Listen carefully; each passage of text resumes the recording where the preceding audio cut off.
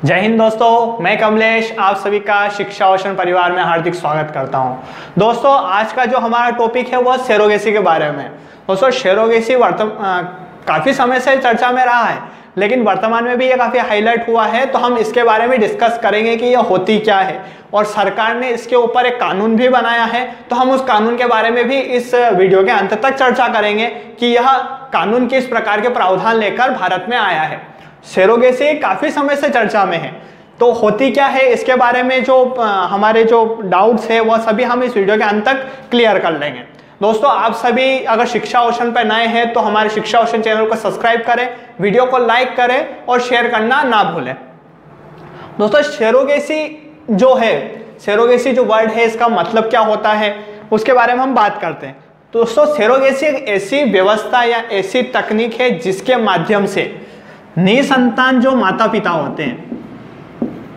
निसंतान जो माता पिता होते हैं, वह संतान की प्राप्ति करते हैं। किस प्रकार से यह प्रोसेस क्या है? यह एक मेडिकल टर्म से यानी एक मेडिकल लैंग्वेज में हम बात करेंगे आगे जाके।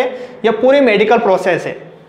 तो जो निसंतान माता पिता होते हैं, उनके लिए जो सेरोगेसी एक वरदान के रूप में साबित होती है।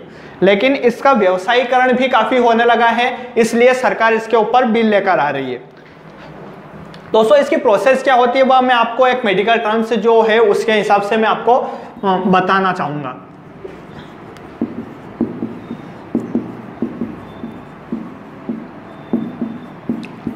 दोस्तों, जो माता पिता होते हैं, उन, जिनको संतान की इच्छा है कि वो अगर उनको किसी प्रकार से किसी मेडिकल प्रॉब्लम की वजह से अगर उनको संतान नहीं हो पा रही है तो वो सेरोगेसी का उपयोग करते हैं, यानी सेरोगेसी व्यवस्था का उपयोग कर संतान की प्राप्ति करते हैं। इसमें क्या होता है कि जो माता पिता होते हैं, उनके अंडाणु और शुक्राणु को, उनको अंडाणु और शुक्राणु को, जैसे अन्य महिला इसे अन्य महिला के गर्भाशय में प्रत्यारोपित किया जाता है और उसके पश्चात जो नौ महीने के पश्चात संतान की प्राप्ति होती है। जो अन्य महिला होती है, उसको कहा जाता है, इस लैंग्वेज में अगर हम बात करें तो वो होता है सेरोगेट मदर जो सेरोगेट मदर होती है, उसके गर्भाशय में प्रवेश कराया जाता है और नौ महीने पश्चात वो बच्चे की प्राप्ति होती है। दोस्तों यह जो तकनीक है यह हमने सुना आपने कभी नाम सुना होगा टेस्ट ट्यूब बेबी। उस प्रकार की तकनीक होती है लेकिन वो एक कृत्रिम होती है। उसमें एक ट्यूब एक न, परख नली होती है जिसमें अंडाणु और शुक्राणु के माध्यम से बच्चे की प्राप्ति होती है जो कि एक कृत्रिम तकनीक होती है। और यह जो तकनीक है यह पूर्णतः जो प्राकृतिक है जो नेचुरल है उस प्रकार की होती है क्योंकि इस गर्भाशय में उसको जो एटमोस्फियर जो वातावरण मिलना चाहिए बच्चे को वह वहाँ मिलता है। यानी जो सेरोगेट मदर होती है, उसके गर्भाशय में मिलता है और नौ महीने पश्चात संतान उत्पत्ति होती है। दोस्तों, यह किस प्रकार से इसका जो दुरुपयोग वह किस प्रकार से हो रहा है?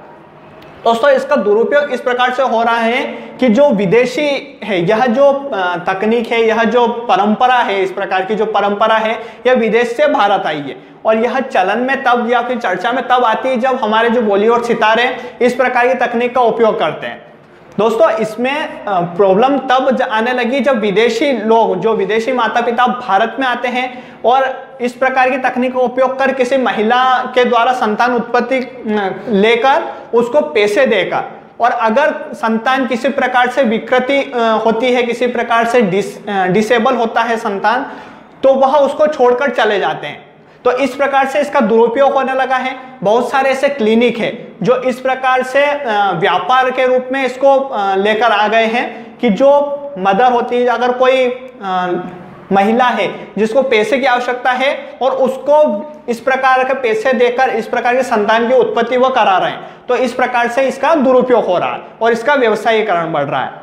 जब भारत में इस प्रकार के व्यवसायीकरण की बात सामने आए तो भारत कि संसद में एक बिल पेश किया गया जो सेरोगेट से संबंधित है या सेरोगेसी से संबंधित है। वो इस बिल को पेश करते समय हमारे देश के जो स्वास्थ्य मंत्री हैं डॉक्टर हर्षवर्धन जी। हर्षवर्धन जी ने यह कहा कि वर्तमान में भारत में करीब 2000 जो है गैर कानूनी क्लिनिक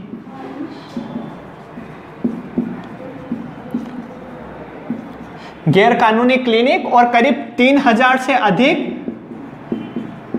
विदेशी संतानें उत्पन्न हुई। और वह विदेश में चली गई। इसका जो दुरुपयोग इस प्रकार से देखा जा सकता है कि करीब 2000 से अधिक तो गैर कानूनी क्लिनिक है भारत में और 3000 से अधिक विदेशी संतानें उत्पन्न हुई। इसको देखते हुए भारत में इस बिल की आवश्यकता थी। इस बिल के प्रावधान क्या क्या है वह हम वीडियो के अंत तक डिस्कस करेंगे। यदि आपको यहाँ तक सेरोगेसी समझ में आ रहा है या नहीं भी आ रहा है तो प्लीज़ कमेंट ज़रूर करें, ताकि हम इसको आगे भी इसको अच्छे से समझ सकें। दोस्तों सेरोगेसी को एक बार वो इसकी जो परिभाषा है, इसको अच्छे से समझ सकते हैं कि सेरोगेसी की ऐसी तकनीक है जिसके माध्यम से निसंतान माता पिता संतान की प्राप्ति करते हैं। उसमें माता पिता के अंडाणु और शुक्राणु को किसी अन्य महिला के गर्भाशय में प्रवेश कराया जाता है और उसके पश्चात संतान की उत्पत्ति होती है, संतान की प्राप्ति होती है। यह होती है सेरोगेसी। अब जो बिल आया है भारत में, उसके बारे में हम बात करते हैं।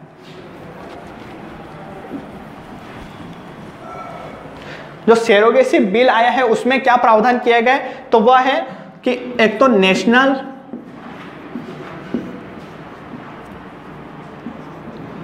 नेशनल सेरोगेसी बोर्ड का गठन किया जाएगा। नेशनल सेरोगेसी बोर्ड का गठन किया जाता है और इसी के तर्ज पर राज्य में भी सेरोगेसी बोर्ड का गठन किया जाएगा। यानी एक बोर्ड का गठन किया जाएगा जिसमें कुछ अधिकारी होंगे जो इस प्रकार की जो प्रोसेसिंग है उसके ऊपर नज़र रखेंगे। अब क्या होगा इस बिल को आने के पश्चात? जिस बिल का नाम है सेरोगेसी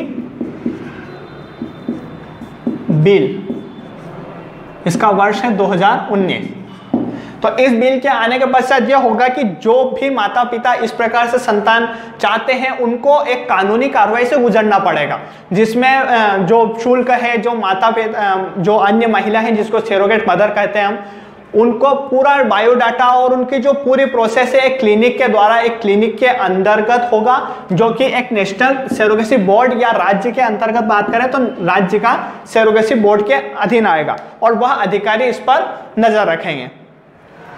और यह जो सुविधा है इस तकनीक का लाभ कौन उठा सकता है? जिनकी शादी पाँच वर्ष से अधिक की उम्र तक जिनकी शादी हो चुकी है यानी जिनकी शादी हुए पाँच साल या उससे अधिक हो चुके हैं तो वह इस सुविधा का लाभ ले सकते हैं कि अगर के, और उनकी जो मेडिकल टर्म्स है कि हाँ अब यह दोनों माता पिता नहीं बन सकते उसके पश्चात ही इस सुविधा का उपयोग किया जाएगा। अगर किसी प्रकार से इस सुविधा या इस बिल का उल्लंघन होता है इस नियम का उल्लंघन होता तो सजा का प्रावधान क्या है? तो इसमें करीब 10 वर्ष की सजा 10 वर्ष की सजा और 10 लाख रुपए का जुर्माना इसमें सम्मिलित है। और अगर किसी क्लिनिक के माध्यम से हो रहा है तो उस क्लिनिक का लाइसेंस और डॉक्टर का जो लाइसेंस है, वह भी रद्द किया जाएगा। दोस्तों, इसमें जो सबसे बड़ी प्रॉब्लम यह आती थी कि जो विदेश से अगर कोई आ रहा है और वो संतान इस प्रकार से संतान प्राप्त करता है और संतान में किस प्रकार की विकृति होती है, संतान किसी प्रकार से डिसेबल होती है तो वो संतान को छोड़ के चले जाते हैं। लेकिन इस बिल में यह होगा कि संपूर्ण लिखित प्रावधान होंगे और अगर संतान किसी प्रकार से विकृत होती है तो भी उस संतान की ज़िम्मेदारी उन्हीं माता पिता की होगी जो इस सुविधा का लाभ ले रहे हैं। और वह जो सेरोगेट मदर है उस सेरोगेट मदर की संपूर्ण ज़िम्मेदारी यानी उसके स्वास्थ्य संबंधित शुल्क जो भी है उसकी संपूर्ण ज़िम्मेदारी उन माता पिता की ही होगी। तो यह जो सेरोगेसी है अब भारत में लीगल होगी और लीगली प्रावधान से ही गुजरना पड़ेगा। पहले भी यह लीगल थी लेकिन इसका दुरुपयोग बढ़ रहा था। तो इसको दुरुपयोग कर, कम करने के लिए सेरोगेसी बिल 2019 लाया गया।